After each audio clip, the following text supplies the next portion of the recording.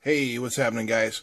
Today I thought we'd talk a little bit about supercapacitors or ultra capacitors, as they're sometimes called, like this here, big cap, which, as you can see here, holds 500 farads capacity, which is incredible. I mean, that's an incredible amount of capacity, considering that the average electrolytic capacitor is measured in terms of microfarads, which is a millionth of a farad. Now that one's 470 microfarads, 470 millionths of a farad as compared to this one, which is 500 farads.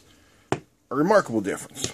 I mean, even a large electrolytic capacitor like this one, which is 15,000 microfarads, pales in comparison to a super capacitor. I mean, even if you just even if you just took this on size alone, so that's 15,000 microfarads.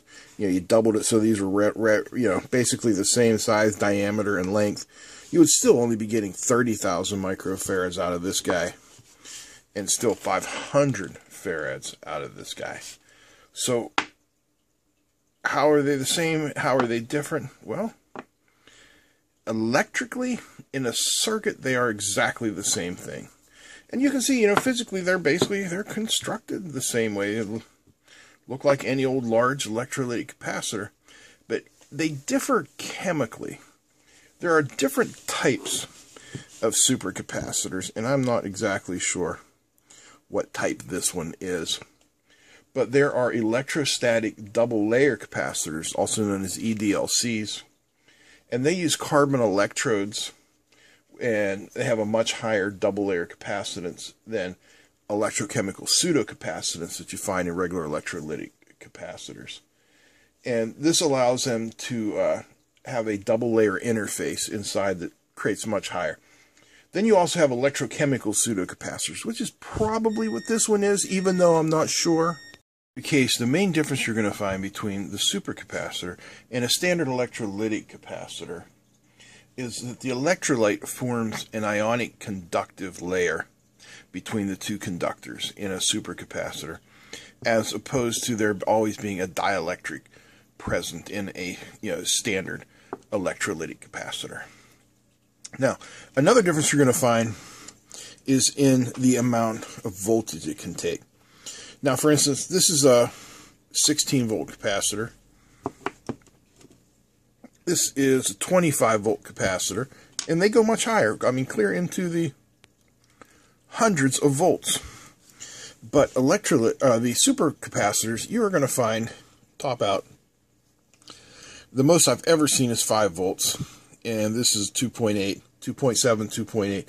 Seems to be pretty standard. They definitely have a, a lower voltage capacity based on the way they are designed and constructed. But, you know, that's a small trade off to have for the amount of charge they, they are able to store. So, what is the purpose of them?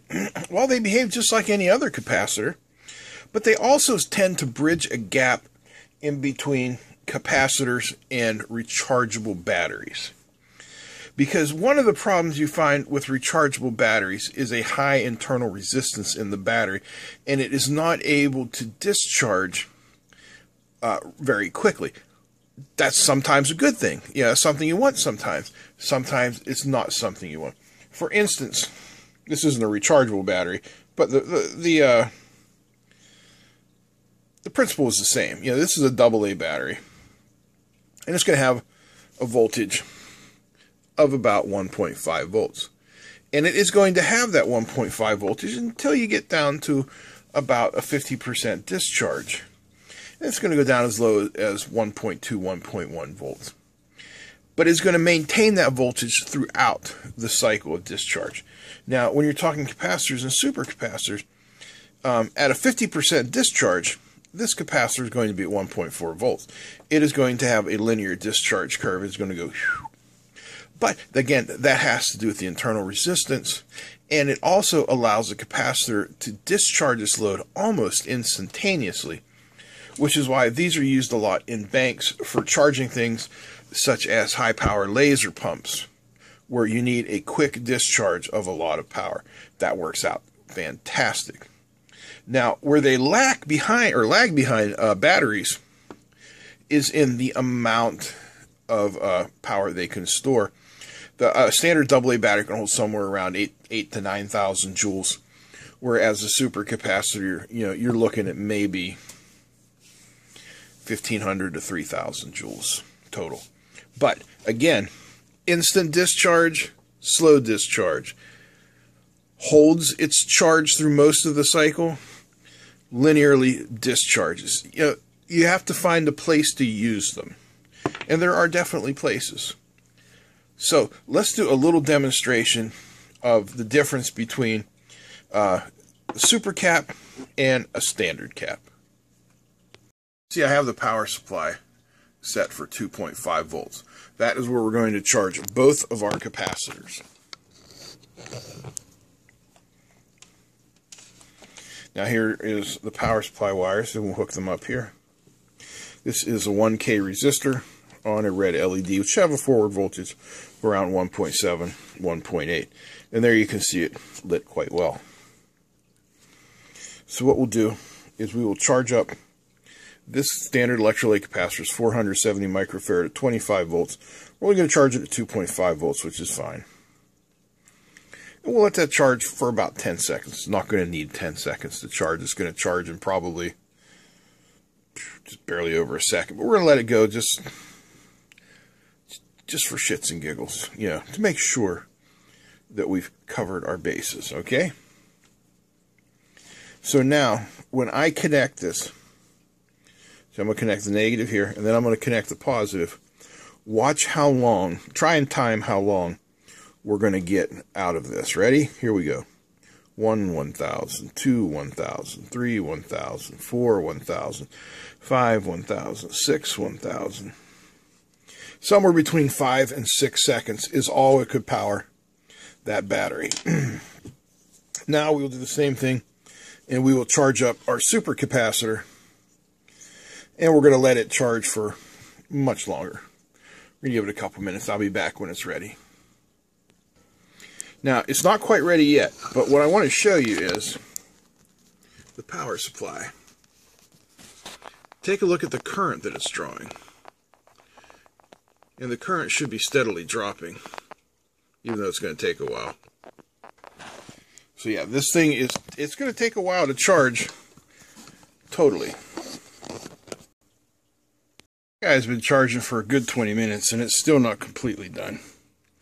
But it should have more than enough charge. Prove my point here. Which is that it will last considerably longer. There we go.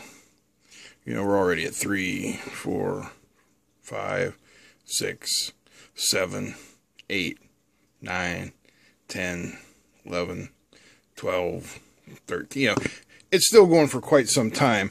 And if we take off of there, we bring it over and put it on a meter, what are we going to see? Maybe a volt and a half or so out of this guy. Yeah, 1.8. So, as you can see, the charge capacity is, you know, orders of magnitude above what you get for a standard capacitor. Which is very cool, although the charge times are considerably longer. Now, you know, when we use um, standard capacitors like this, you always want to discharge them when you're done, you know, like this. Like this even, you know. Do not do this with a super capacitor. Even though it's only about 3 volts, it can dump a significant amount of current out and you know, it, it could possibly overcome your skin resistance. It could hurt you, so don't short them out. Use a resistor, 1 meg resistor, crosses should do you fine. So, all right.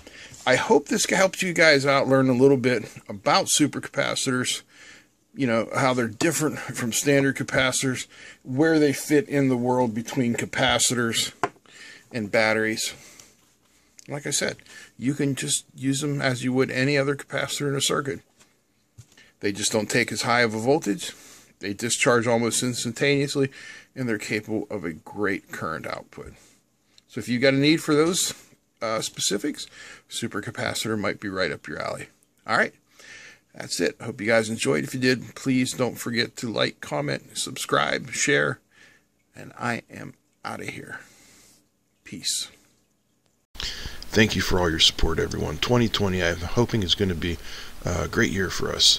Everyone who's supported through Patreon and through PayPal donations is fantastic. Um, everybody who's bought something from the Amazon store, that's what keeps this channel going. I couldn't do it without you guys. Uh, you are a part of the team. Hey, feel free to email me arduino0169 at gmail.com. I try and get back to just about everybody.